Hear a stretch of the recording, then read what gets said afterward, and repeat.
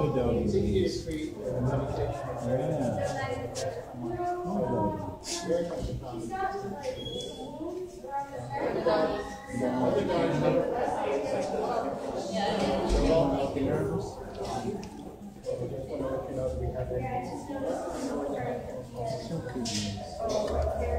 just doing that so you can hopefully be adopted. Oh, that's a good job.